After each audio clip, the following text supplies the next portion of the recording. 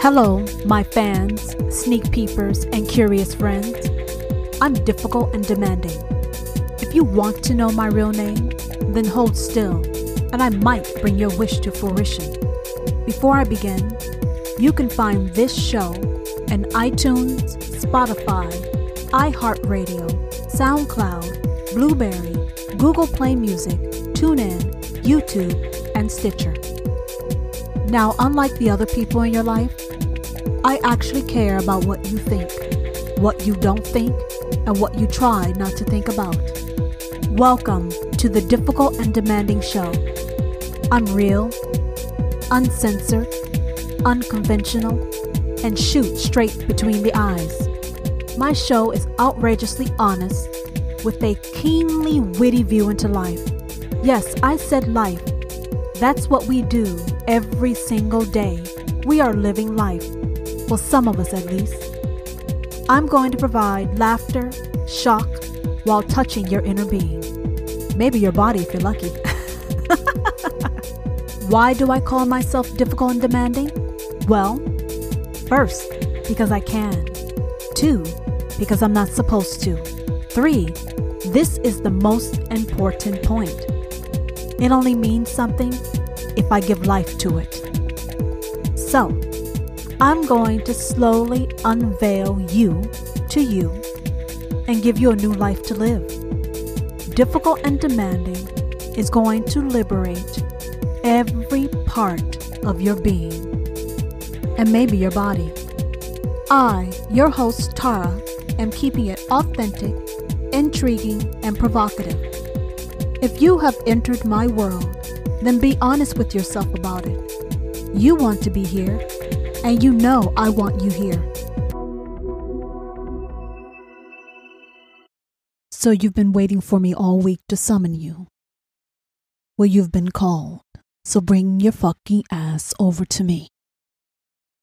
I want to know if you know what a pecker order is. I said, Do you know what a pecker order is? You're saying, Sounds familiar, but sounds off.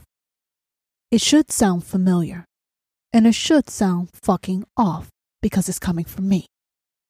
Now, I know you've heard of a pecking order. A pecking order.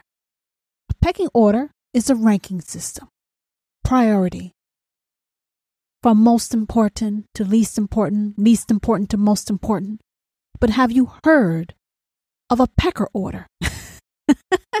now, do you know what a pecker is? Uh, you're trying to figure out is she really talking about what I think? Yes, I'm talking about what the fuck you think I'm talking about. A pecker. A pecker is a dick. It is a penis. It is a cock. So I've asked you for the third or fourth goddamn time have you heard of a fucking pecker order? Hmm, I caught your attention? Good. I should have had it in the first damn place. This episode is called Pecker Order. And my inspiration for this episode is the fact that I, me, difficult and demanding, I believe that when you have people in your life and you are in relationships, I think you should worship them. I think you should pamper them. I think you should make them feel like heaven has arrived in their motherfucking life. And depending on if they act wrong, maybe hell also. But let's let's stick with heaven. You like heaven, right? Heaven. Now we all have our version of what heaven should look like, should feel like. And more specifically, what does heaven feel like in a relationship? Some of y'all don't know what the fuck I'm talking about. It's okay. It's okay. You're going to understand. So I believe that we should worship the people in our life. Really worship them. You're saying, well, difficult and demanding. I think that's unreasonable, impractical. I just don't feel the shit all the time. And that's the first fucking problem. Because if you have a person in your life and you look at that son of a bitch and it doesn't make you say, thank you, heavens, for bringing this motherfucker into my life, like, damn, Thank you, damn, damn. Did I mention fucking damn? If you don't feel like that, then I'm telling you, you're with the wrong fucking person. Did you hear what I said? You're with the wrong person. You're saying difficult demanding? No one's perfect. No one has everything. Well, no, no one's perfect, but there is someone who is best for you. And that person should make you thank the heaven, the goddamn stars, and also visit fucking hell to thank Lucifer, him or herself, for that motherfucker that's in your life. Now, if you don't feel that, again, I said that's a problem. Now, this episode is called Pecker Order because I want to know when the person that you're in a relationship with, when they come home, how do they greet you? How do you greet them? When you go to sleep at night, how do you end your day? When you wake up in the motherfucking morning next to this person, how do you start your day? How do you start your day with the most prized possession in your life? Because if you guys have been keeping up with me in my episodes, I've told you each one of us is rare, is fucking one of a kind. You will never find another motherfucker like the one you were with. Do you understand? And most importantly, there's only one of me, your dark side mistress. Do you understand? No one. No one can imitate me. No one can fucking dream of imitating me. So if there's only one, do you understand one? And you have that one special person in your life. I'm asking you, how do you grieve them? How do you wake up next to them? How do you go to sleep next to them? How do you let them walk out the door? How do you let them come into the door? What the fuck do you do when you see this most prized possession of yours? All y'all motherfuckers are quiet. Fucking birds chirping, goddamn bees are buzzing. I don't hear anything. Well, one of the reasons I don't hear anything because I am talking into my mic by myself. But I'm setting the scene. I'm setting the scene for you so you can understand what the hell I'm talking about. How do you make that person feel? How do they make you feel? Do their eyes light up when they see you? Do they drop everything and come over to you, greet you, hug you, caress you? What the fuck are you people doing? Tell me. Tell me what you are doing. Because I'm going to tell you what I think you should be fucking doing. of course, I have to get to the punchline. I said this show was called Pecker Order. Now, there's a lot of women I don't have the exact number, but there's a lot of women who have problems with dicks. yes, they don't like the way they look. Maybe they don't like the way they feel. Maybe they don't like to deal with the motherfuckers. But I think that's one of God's greatest fucking creations. Dicks, cocks, penises. Did you hear what I say? Dicks, cocks, penises. One of God's greatest fucking gifts on this goddamn earth. Now, me, you know, I live in a world, a universe of my fucking own. Of my own that I've created. But I'm telling you, if you want to make someone feel like a god or goddess on this fucking earth, you have to be animated. You have to have life, give life. You have to make them fucking excited. I told you my episode is called Pecker Order. And I think cocks are the greatest fucking things on this earth. Now, some women think rocks, diamonds are the best thing.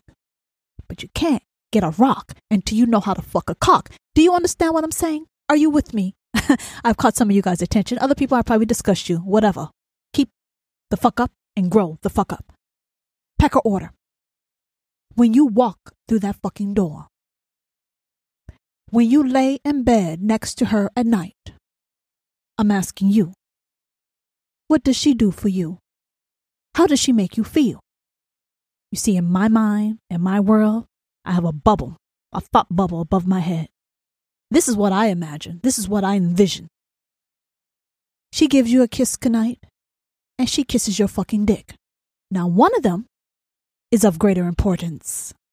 Now, some of you people who are really smart, really smart, if my episode is called Pecker Order, then you should know who gets the longer kiss. yes, I'm in one of those moods today. I'm in one of those moods today. And what I'm talking to you about, it is literal and it's also figurative. Because a man wants the woman that he's with to love him and worship his goddamn dick. Do you understand? yes, that's one of the most important things in his world, his goddamn cock is dick, which is why his hands are probably all over and why he wishes your hands in your mouth and maybe your face is all over that shit. But you understand what I'm saying.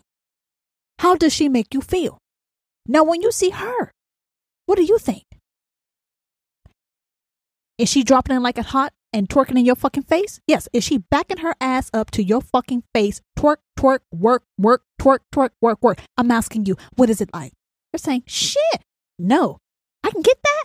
You didn't know you can ask for that? Yes, you can ask for that. You can try, but she may tell you fucking no. But to try and to fail, it's not laziness. I have to applaud you. But what I'm asking you is what are you people doing? What are you doing? You're with a woman who hates dick.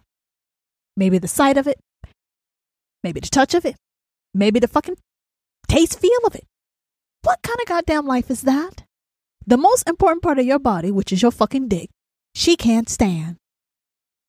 There has to be a fuck all feeling. The fuck, fuck, fuck, fuck, fuck, fucked up from the sun up, sundown.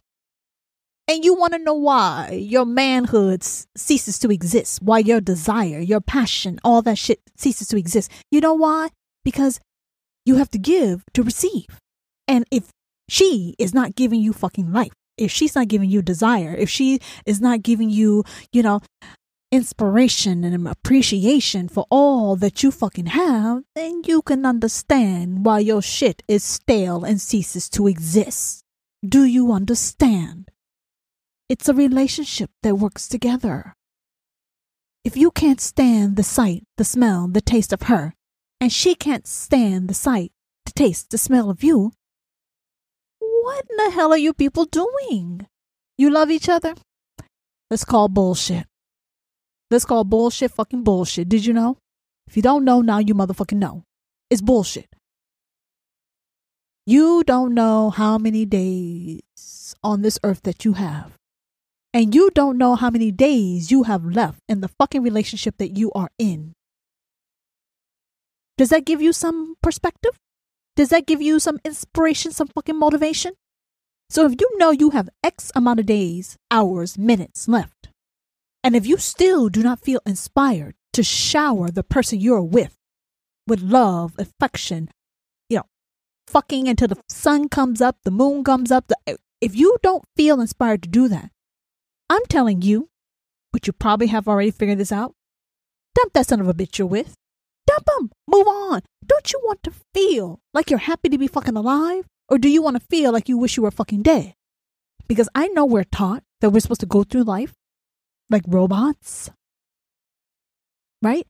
It's not normal to experience um, all these sensations that you have as a child and a young adult. And again, I'm going to call bullshit. Your life is what the fuck you expect. You have low expectations, no expectations, you're going to receive pretty much close to nothing. Nothing. And if the person you're with, they can't bring it to you, what to do. Life goes on now, doesn't it? Life goes on. You guys like to do all these side hustles to get your fucking needs met instead of telling the person you're with, look, you need to love my dick more than you love me. yes, you need to love my cock more than you love me. You need to massage it. You need to worship it. You need to talk to it. You need to name that motherfucker. You need to wake it up, put it to sleep. That's what you need to do. Can't y'all have a conversation like that? No? Why not? It's disgusting. Why is it disgusting? It's how you really feel. And if you don't feel like that anymore, I can guarantee you you're fucking used to. So what happened? Oh, difficult and demanding has now reminded you of some shit that you tried to forget, bury, sweep under the rug. No, you don't want to do that. That makes you age too fucking fast. It makes your testosterone levels fall even fucking faster. Do you understand? You need a rush, a jolt. You need to be stroked and fucking stoked. Do you understand? Trying to understand, can't understand. You feel angry, you feel bitter, you feel resentful. I understand, but now that you know, what I want to know is what the fuck you gonna do about it? What are you gonna do about it? One, you should keep listening to me, because that's one of the best things you'll ever get. But the second thing is, why can't you have these types of conversations? Why are these conversations so uncomfortable? Why are people uncomfortable with who and what you are? You, I mean, you are, they are. Why are you uncomfortable? You were fucking born naked. Eventually, when you die, the clothes that you have on your fucking body is going to come off of it. So your body is natural. Cocks, penises, fucking vaginas, pussies, cunts, all that shit is natural. If you're a woman, most women, you have a cunt. If you're a man, most men, you have a cock. What is the fucking problem? What is the problem? We all got it. Some of y'all don't want it, but you got it. What is the problem? Why are you uncomfortable? Being naked, intimacy, connection is a natural part of life. It's just like breathing. So, why are you uncomfortable? It's a very deep question because you're not, for the most part, I don't think you're uncomfortable with your hair or your lips or your teeth. Or some of y'all son of bitches, you don't like anything about yourself, do you? Can't stand shit about yourself. You got to get beyond that. Your happiness, your fulfillment, it's in your control, it's in your power. But you don't know how to use your power. So if you don't want to fucking use your power, then surrender your motherfucking power to me. Give that shit to me. I live for it. Give it to me. If you can't control, then fucking accept that you need to be controlled. But what I will tell you is, what is wrong with a man's dick? You're saying, yeah, difficult man, when you put it like that, shit, yeah, fuck. What is wrong with it? Yes, yes, yes, woman. What is wrong with my dick? That's what I said. Put your fucking dick on the table. Put it on the table. Don't eat it, but put it on the table. what is wrong with it? You've been made to feel like something's wrong with it. What I tell you before, my last message, my last episode is called Kill the Message. You have to determine what information is good for you and not good for you. And the shit that's not good for you, you need to kill that shit. You need to behead it because it serves no purpose. It has no rhyme or reason. It only has meaning if you give it meaning. But I'm asking you to look at yourself and the most important part of yourself, which is your sexuality, and get comfortable with it. There is nothing wrong with sex. And there's nothing wrong with enjoying it. And there's nothing wrong with coming until your fucking brain explodes. There's nothing wrong with it. Why should you be ashamed of it? because you like it more than others? Maybe if they had better sex, they would be in alignment with you and they will understand. But a lot of people have mediocre sex. You know why you have mediocre sex? Because you are fucking with the wrong goddamn people. Now, I've said that many times before.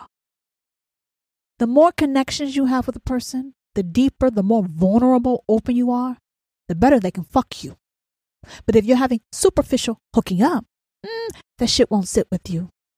It won't feed your soul. It won't satiate your being. It won't rock your motherfucking world. It won't make you feel like you've died, died, died again, and then came to fuck back to life in your next lifetime. Do you understand? Can you understand?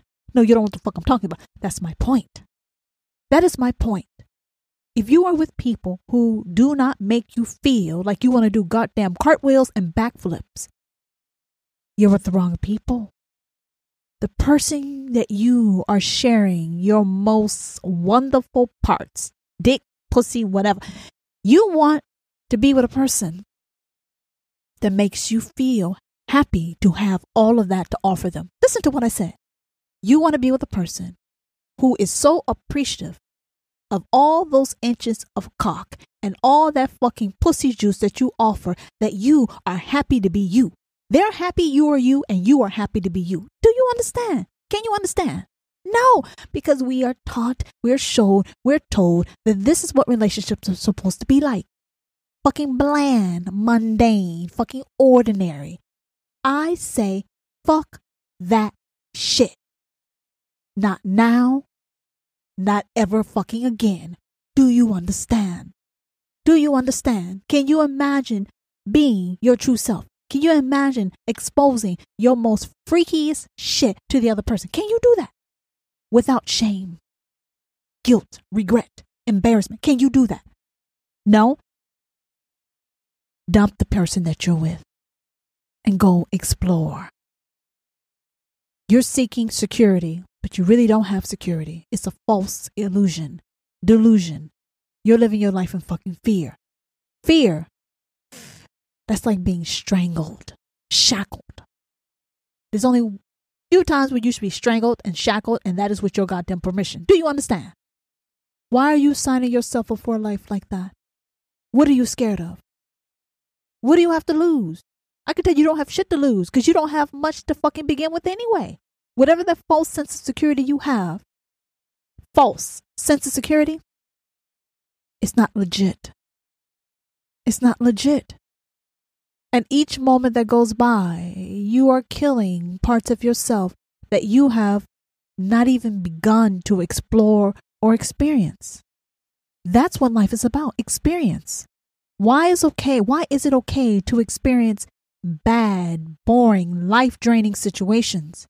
But then people look at other people who are happy and pursuing life and think, oh, they're not responsible. Um, oh, they have unrealistic expectations. Oh, they don't understand what life is. Yes, maybe they do understand what life is. And maybe you're the one with the fucked up view. There is a Pecker order. And that Pecker order is that each part of ourselves is a treasure. And it's a treasure that a person should be able to worship and appreciate us mentally, emotionally, physically, sexually, spiritually. All of those things are important parts of our lives, and each one works together. So if you are not okay sexually, that I can guarantee that you're not right emotionally, mentally, and physically. It all goes hand in hand. Now, some of you guys are fucking uptight prudes, and if you're uptight and a prude, you more than likely are probably not listening to me. So I probably got the super freaks here. So the super freaks, you can understand and relate to what I'm saying.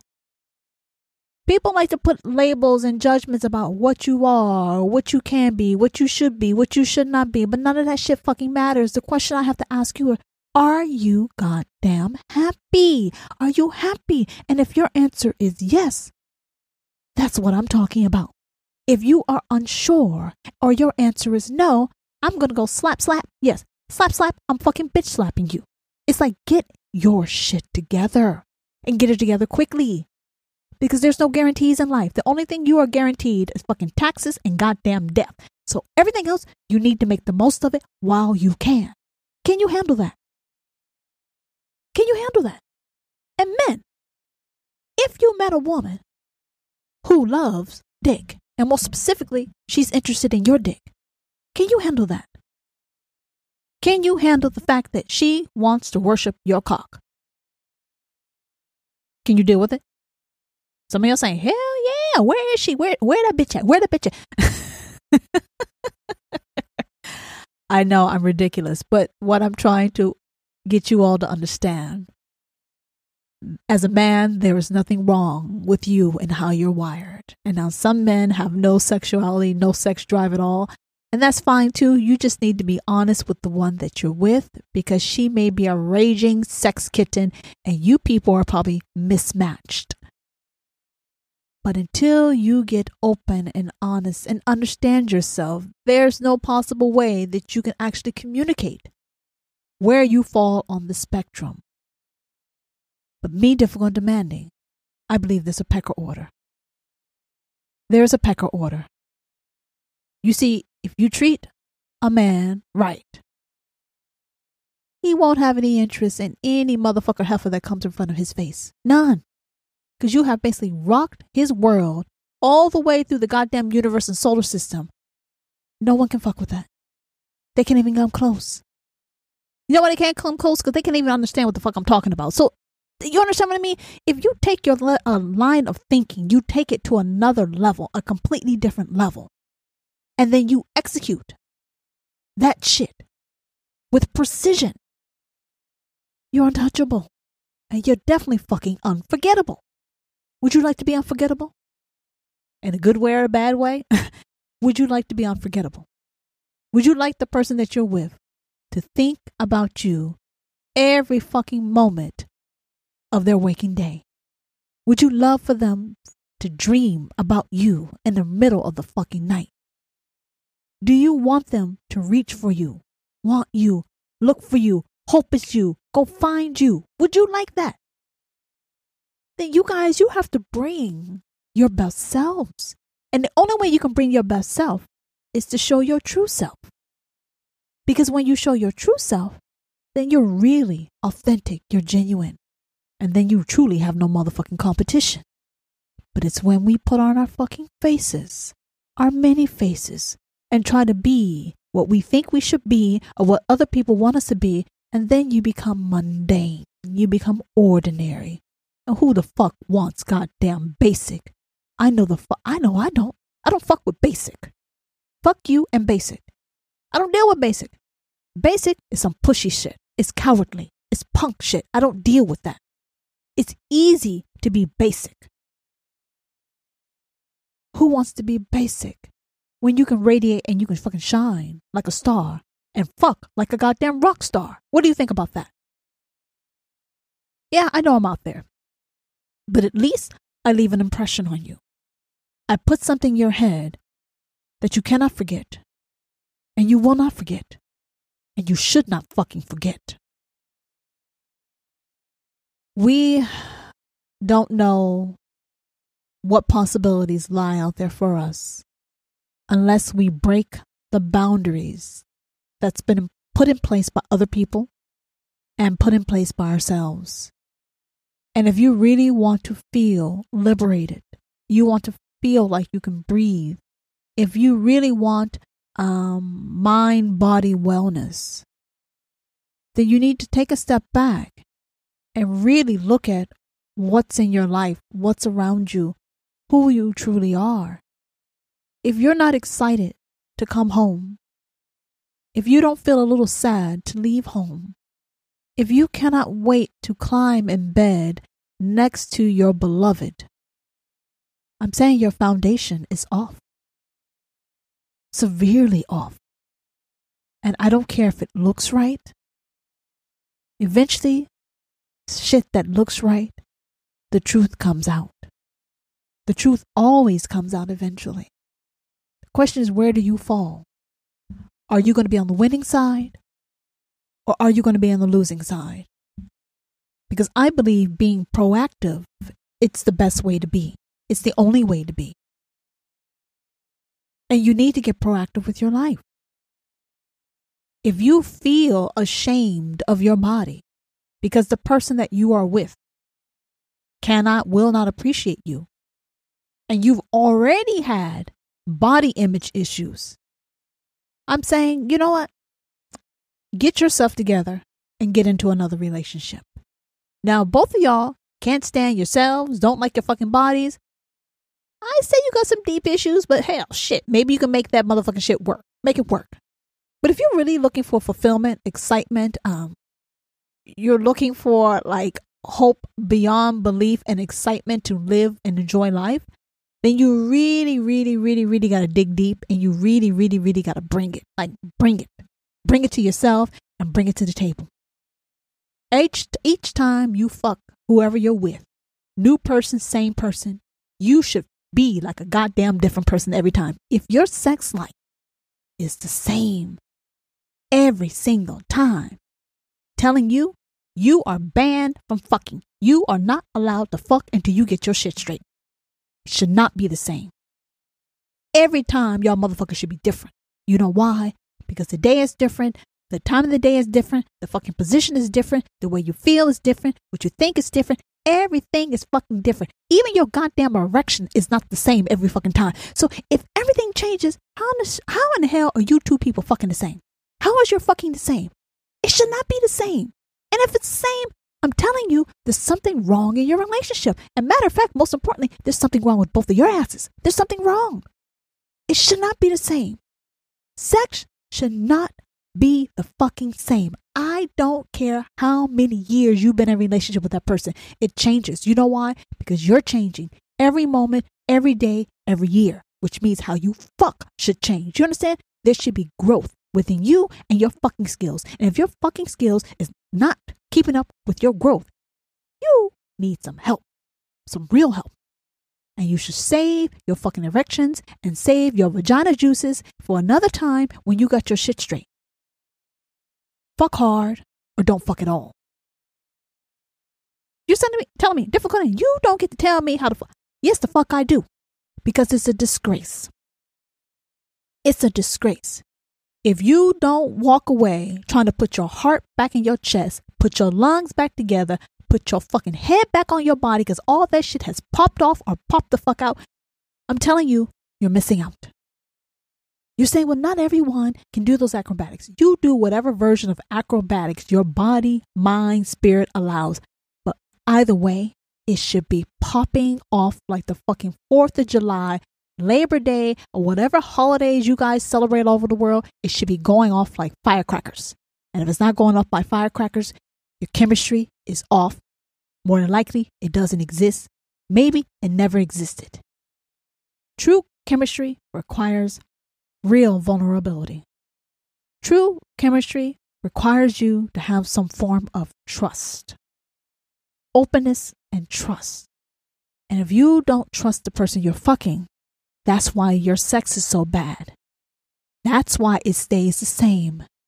There's no trust. You don't trust yourself, and you don't trust the other person. And it's fucking mutual. Because if you guys were open, raw, slapping, smacking, doing whatever it is that you're looking fucking, fucking to do, you would know this is a safe zone to do it, to think it, to speak it, to try it. You know it's a safe zone. And if you don't have a fucking safe zone sexually with the person you're with, kick their fucking asses to the curb. Y'all need to grow some dicks and some goddamn backbones and and find a few balls. You understand? Find a few balls and go live your life. Living your life is not a crime. The crime is when you don't live your life. You're miserable, fucked up, and you're okay with it. You're okay with it. That shit is wrong on so many different levels. So if you guys want me, you know where to fucking find me. But come back to me. Until the next time. Are you disappointed this has come to an end? Well, it doesn't have to. Reach out and follow me on Instagram at Difficult and Demanding and let me know what you think about this episode and my show. Episode 135 will be here the week of March 22nd, 2021 from Difficult and Demanding.